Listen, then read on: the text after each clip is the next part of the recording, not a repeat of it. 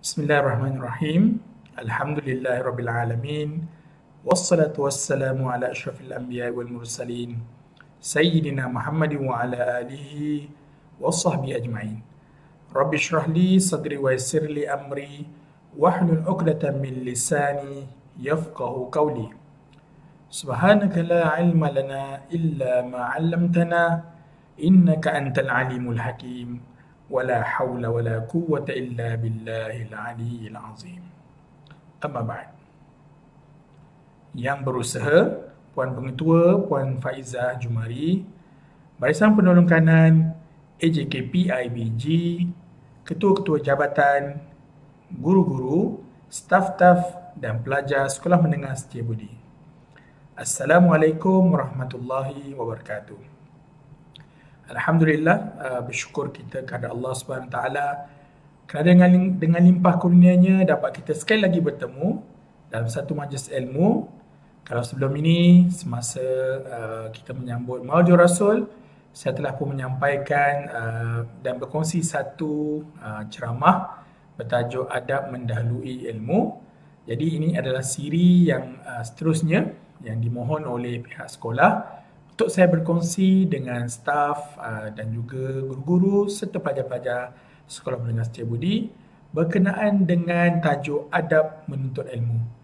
Walaupun sekarang ni kebanyakan sekolah, boleh kata semua sekolah di Malaysia telah pun menamatkan sesi persekolahan, tapi saya kira uh, perkara ini uh, adalah kita terus menerus kita mengingatkan pelajar-pelajar kita dan juga staf-staf kita agar supaya kita mengamalkan apa yang disebut dalam surah Al-Asr iaitu uh, watawasaw bil haqqi watawasaw bis sabr. Kita perlu sentiasa ingat mengingati dengan benda yang uh, benar, kebenaran dan juga perlu kita sentiasa mengingatkan saudara mara kita, kawan-kawan kita dengan kesabaran. Baik. Jadi uh, untuk hari ini, um, uh, kalau sebelum ini, uh, ceramah yang sebelum ini, saya ada berkongsikan tentang beberapa, beberapa hadis yang diambil daripada buku Syama'il Muhammadiyah. Okay. Jadi pada hari ini saya ingin berkongsi dengan adik-adik dan juga dengan guru-guru staf uh, Sekolah Menengah Setia Budi dan juga penonton-penonton kita berkenaan dengan satu bait syair yang disebutkan oleh Al-Imam Syafi'i rahimahullah di dalam kitabnya Diwan Asy-Syafi'i. Baik, tetapi sebelum kita pergi kepada uh, uh, bait syair ini, okey, suka untuk saya uh, perkenalkan sedikit siapakah itu Imam Syafi'i. Okey. Kita di Malaysia ni kebanyakan daripada kita bermazhab fiqah, bermazhab Imam Syafi'i, tetapi siapakah beliau? Kata orang tak kenal maka tak cinta. Jadi uh, sebut sedikit Imam Syafi'i ini berketurunan Rasulullah sallallahu alaihi wasallam. Allahumma salli ala Muhammad. Uh, beliau seorang ahli fiqh uh, lahir di Gaza, Palestin uh, pada tahun 150 Hijrah. Okey. Dan uh, pada tahun yang sama ini, okey lahirnya Imam Syafi'i ini meninggal dua orang ulama yang besar iaitu Imam Abu Hanifah di Baghdad dan Imam Ibnu Juraih di Makkah. Okey uh, Imam Syafi'i ini uh, penonton sekalian sangat mementingkan ilmu dan bahasa kerana baginya bahasa merupakan kunci kepada ilmu. Beliau ingin benar-benar mempelajari bahasa Arab um, sehingga beliau ke satu kawasan Bani Huzail kerana di kawasan tersebut uh, ada mereka yang fasih berbahasa Arab. Okay. Daripada situ Imam Syafi'i mendalami bahasa, bahasa dan sastra Arab sehingga satu hari beliau berjumpa dengan seorang badui di kawasan perkampungan Bani Huzail ini. Lalu badui tersebut bertanya kepada Imam Syafi'i mengenai satu persoalan berkenaan dengan darah haid. Uh, mendengarkan soalan itu, Imam Syafi'i menjawab, aku tidak tahu. Lantas orang badui ini berkata kepada Imam Syafi'i, Wahai anak saudaraku, sesungguhnya kefaduan ilmu fiqh ini lebih penting daripada ilmu sunat iaitu ilmu bahasa. Imam Syafi'i lantas berfikir, oh kalaulah begitu, uh, aku perlu menguatkan diriku dengan belajar fiqh. Okay.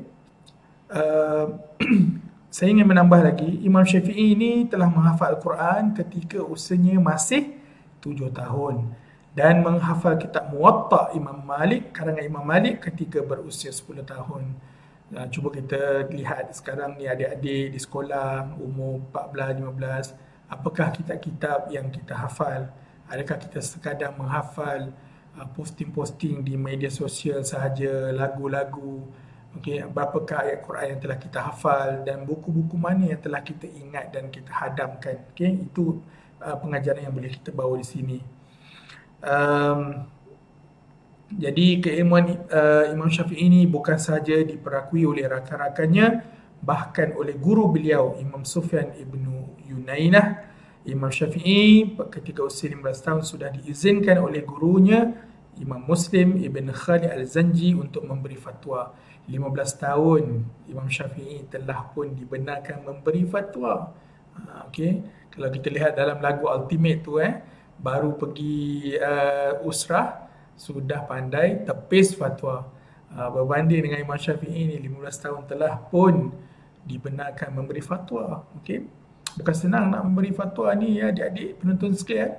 Perlu men, perlu mahir dalam pelbagai ilmu barulah boleh kita menjadi mufti dan mengeluarkan fatwa jadi begitu hebat ketukuhan dan keilmuan ilmu ilmu Imam Syafi'i ini untuk kita teladani dan hayati kisahnya. Baik, jadi kita pergi kepada bait syair yang hendak saya ketengahkan uh, pada hari ini. Cuba kita bacakan. Okay.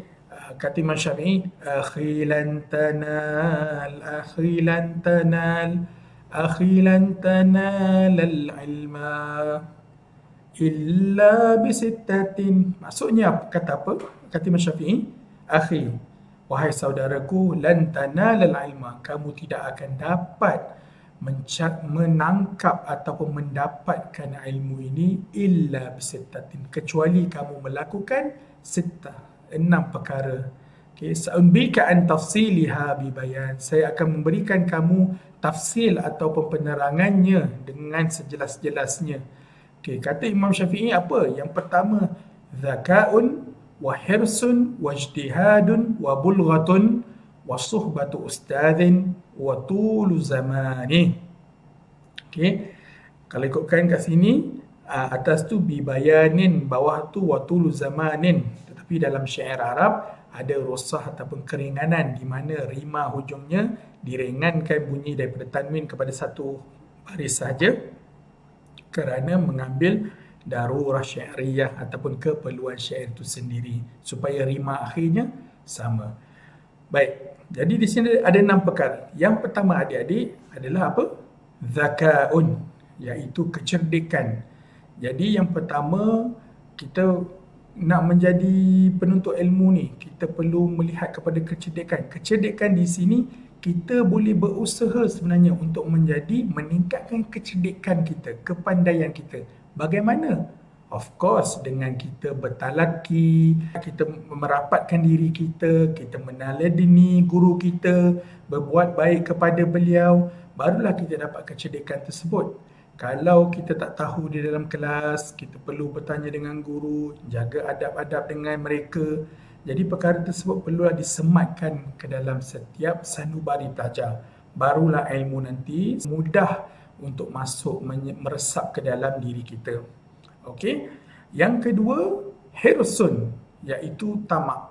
Tamak di sini bukannya tamak uh, harta dunia, tetapi hirsun di sini adalah kita tamak kepada ilmu itu. Okey, ada orang banyak sebenarnya ilmu tetapi dia tak nak ambil tahu ataupun di dalam kelas dia tak tamak nak mendengar ilmu daripada gurunya tak maksud tamat di sini kita bolehlah anggarkan ataupun tukarkan maksudnya kepada beri perhatian. So ini adalah adab yang perlu kita jaga juga. Walaupun kelas sekarang ni berjalan secara online tetapi adab dan juga perhatian perlu diberikan sepenuhnya. Janganlah sewaktu kelas online tu guru memberikan sepenuh okey uh, jiwa dan raga untuk mengajar tetapi kita buat de je eh. Ada yang sambil di, uh, baring, ada yang sambil uh, ditandas pun ada, ada yang apa sambil uh, atas kereta tu okey lagi tetapi membuat perkara-perkara yang tidak memberikan atau mengurangkan tumpuan kepada pembelajaran dan pengajaran. So kita sen- kena sentiasa meningkatkan ketamakan kita terhadap ilmu. Apatah lagi sekarang ni cuti sekolah pun dah bermula, perlulah adik-adik fikirkan okey bersama boleh cakap dengan guru-guru uh, okey uh, berikan kami Uh, pertolongan ataupun cadangan apa yang kami nak buat sepanjang cuti ni. Supaya masa yang kita ada ni uh, walaupun kita tidak boleh memberi fatwa tetapi kita memenuhkan masa kita dengan perkara-perkara yang boleh meningkatkan kecerdikan kita tadi dan ketamakan kita terhadap ilmu tu tadi. Okey? Baik. Yang ketiga ijtihad. Okey? Wajtihadun bermaksud ijtihad ataupun bersungguh-sungguh So kalau kita nak tamak kepada ilmu, kita nak jadi cerdik, kita perlu juga bersungguh-sungguh. Kalau tak sungguh, tak jadi menjada wajada. Siapa yang berusaha, pasti dia akan mendapat hasilnya. Manzara'a hasada. Siapa yang menanam, dialah yang akan menuainya. Jadi itulah yang dimaksudkan dengan ijtihad, iaitu bersungguh-sungguh. Jadi dalam kita nak menuntut ilmu ini, kita perlulah tanamkan sifat bersungguh-sungguh barulah ilmu itu akan automatik ataupun senang saja meresap dalam diri kita. Baik, seterusnya yang nombor empat adalah wabulwatun. Okey, wabul wabulghah. Bulghah di sini bermaksud bekalan. Jadi bekalan um, kalau kita nak uh, belajar ni memang kadang-kadang kita perlu kata orang Indonesia biaya. Okey, perlu ada belanjanya.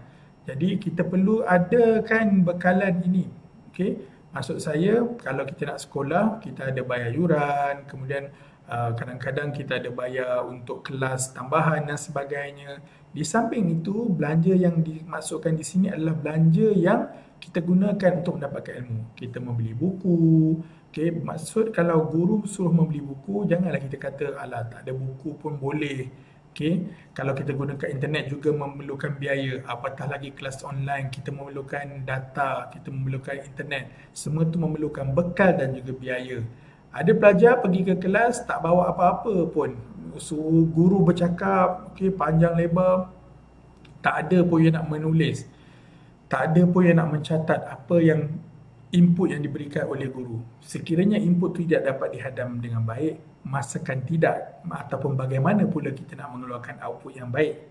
Okey. Jadi setelah kita bersungguh-sungguh menumbuhkan perhatian perlu ada bekalan kita, kita perlu ada persediaan. Okey, supaya uh, guru bila tengok anak-anak murid bersedia kalau masuk kelas online semua dah ada dah di depan kamera walaupun tak buka sepenuhnya kamera tu tapi bila dipanggil nama kita menjawab okey Ahmad awak hadir ke? Ya saya hadir ustaz saya hadir cikgu uh, dan sebagainya. Saya rasa kalau kita menggunakan live Facebook dan sebagainya pun kehadiran boleh dicatatkan menggunakan komen. Contohnya saya hadir saya kelas 5 cempaka 2 anggrek dan sebagainya. Okey seterusnya perkara yang kelima apa yang disebutkan oleh Imam Syafi'i rahimahullah iaitu suhbat ustazin. Ini perkara yang saya sangat-sangat tekankan suhbat ustaz iaitu kita kata irsyadat ataupun uh, facilitation ataupun peranan uh, ustaz itu eh. Uh, peranan ustaz ni saya melihat daripada dua aspek. Satu peranan guru-guru tu sendiri dalam memberikan ilmu kena bersungguh-sungguh, kena uh, sabar dengan kerana uh, pelajar-pelajar kita, okey ada yang kadang-kadang cemerlang, pertengahan dan kurang sedikit.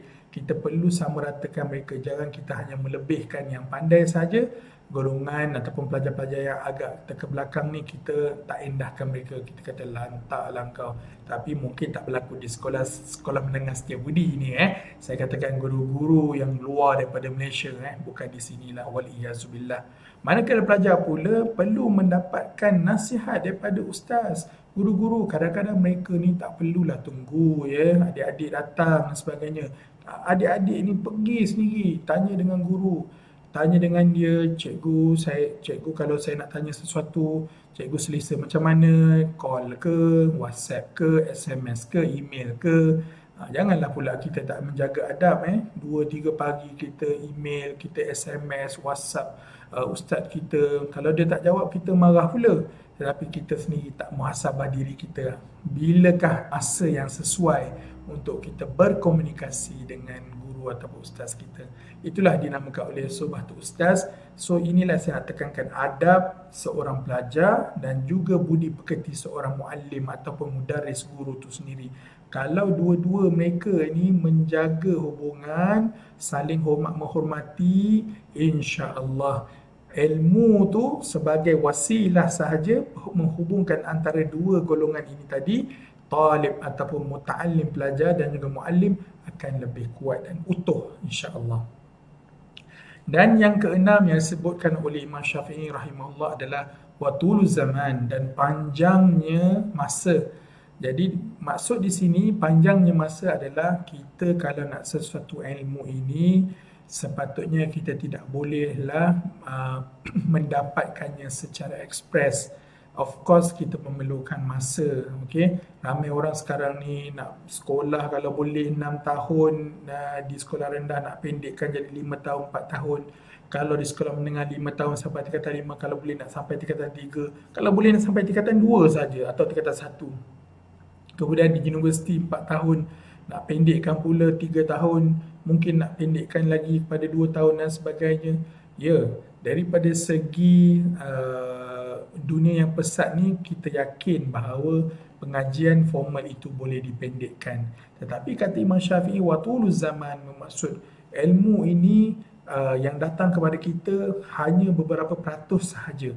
Tetapi bila kita ada pengalaman kita jumpa dengan orang kita berguru dengan ramai guru, kita bertanya, kita bersoal jawab, kita membentang, berbincang. Ilmu yang sedikit itu akan menjadi lebih kuat dan utuh.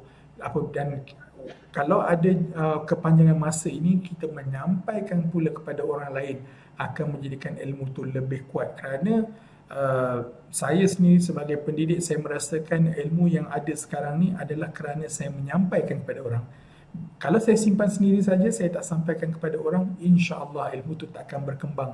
Tetapi bila kita sampaikan kepada orang, orang menegur, ada yang memperbetulkan sekiranya kita salah, uh, kemudian kita dapat pula pandangan-pandangan lain berkenaan dengan ilmu itu, maka insya-Allah ilmu yang ada bukan setakat kekal tetapi ia memberi keberkatan kepada kita sebab kita cuba amalkan dan sampaikan kepada orang.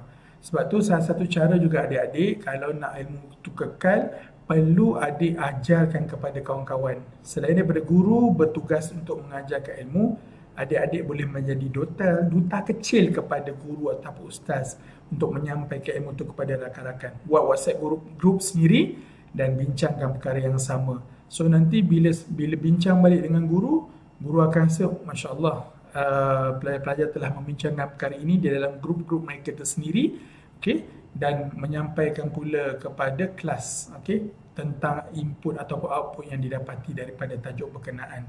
So inilah uh, enam perkara yang disebutkan oleh Imam Syafi'i. Walaupun tak banyak tetapi ianya sangat-sangat holistik dan bersifat menyeluruh sebenarnya untuk menceritakan bagaimana ke uh, apa uh, peri pentingnya adab itu untuk kita mendapatkan ilmu. Um, Suka saya uh, berkongsi satu lagi baik syair ataupun syair daripada Imam Syafi'i uh, kerana banyak remaja sebenarnya contohnya uh, selalu bertanya kepada saya dan juga kita lihat uh, warga-warga netizen ya banyak bertanya contohnya pelajar dan juga mahasiswa bertanya berkenaan dengan ingatan ataupun susah nak menghafaz ataupun menghafal uh, pelajaran mereka. Kerana salah satu daripada cara untuk kita mendapatkan ilmu selain daripada kita apply kita juga perlu memorize kita kena hafaz. Itu salah satu syarat sebenarnya untuk kita mendapatkan ilmu. Bila kita amalkan pula ia akan lebih berkembang. Okay. kata Imam Syafi'i di dalam uh, dewan uh, ataupun buku uh, uh, rangkaian uh, syair-syair beliau ni syakautu ila waqi'an su'a hifzi syakautu aku mengadu kepada waqi' Okay, nama orang wakil ni eh. Su'a hifzi tentang teruknya hafalanku. Okay, fa'arsyadani ila tarkil ma'asi. Fa'arsyadani maka uh, wakil kata apa? dia menunjukkan aku dia bagi tahu aku ila tarkil ma'asi supaya meninggalkan maksiat okey maasi ni plural eh bagi perkataan maksiat dia kata kalau kau nak uh, bagus dalam hafalan kena ting- satu je syarat dia tinggalkan maksiat. Uh, so ini penting sebenarnya adik-adik. Kalau adik-adik uh, merasakan sukar ilmu nak masuk dan sebagainya cuba cek diri kita sendiri. Jangan salahkan guru ke dulu, jangan salahkan kawan-kawan. Cuba cek dulu dengan diri kita. Itu cuba kita nilaikan diri kita. Setiap malam sebelum kita nak tidur tu kan, kita hitung diri kita, kita calculate diri kita. Okey, hari ini uh, amal soleh dan juga maksiat. Berapa banyak aku lakukan amal soleh? Berapa banyak aku melakukan maksiat? Selain daripada Allah SWT, malaikat rakib atid yang tahu tentang diri adik-adik ataupun penonton sekalian hanyalah kita sahaja. Cuba kita hitung. Kalau lebih banyak uh, amal soleh, bermaksud Alhamdulillah. Tapi sebaliknya, waliyahzubillah, kalau lebih banyak maksiat, maka janganlah kita salahkan orang lain atas sukarnya kita mendapatkan ilmu dan sukarnya kita menghafaz pelajaran kita. Okay. Lagi apa kata wakil kepada Imam Syafi'i? Wa akhbarani dan dia beritahu lagi kepada aku bi annal ilma nurun. Sesungguhnya ilmu itu ibarat cahaya. Ha, cahaya ni apa? Dia sifat dia penonton sekalian menerangi kan? Cahaya menerangi. Wa nurullahi la yuhda li asi. Dan sungguhnya cahaya Allah yang petunjuk Allah hidayah Allah Subhanahu taala itu tidak dapat diberikan la yuhda tidak dihidayahkan li'asi kepada orang yang melakukan maksiat. Jangan kata hafalan ya adik-adik penonton sekalian uh, kalau melakukan maksiat hidayah bukan setakat pelajaran tak boleh hafal. Hidayah Allah pun tak boleh nak sampai. Jadi jangan kita salahkan Allah SWT kenapa aku berdoa beratus-ratus kali tetapi Allah tidak pernah memakbulkan doaku walau sekali. Cubalah kita hitung diri apa yang kurang, apa yang lebih dan kita muhasabah dan daripada situ kita boleh tingkatkan amalan kita supaya kita menjadi hamba yang beriman pada Allah SWT, hamba yang mukmin, selamat di dunia dan selamat di akhirat. Jadi saya rasa setakat itu dahulu perkongsian pada hari ini.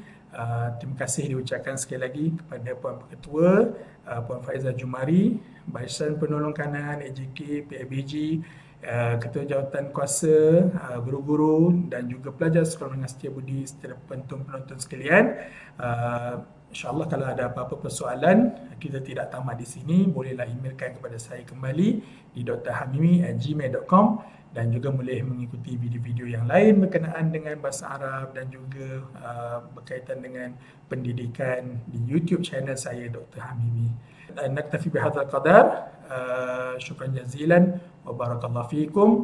Uh, wabillahi taufiq wal hidayah. Wassalamualaikum warahmatullahi wabarakatuh.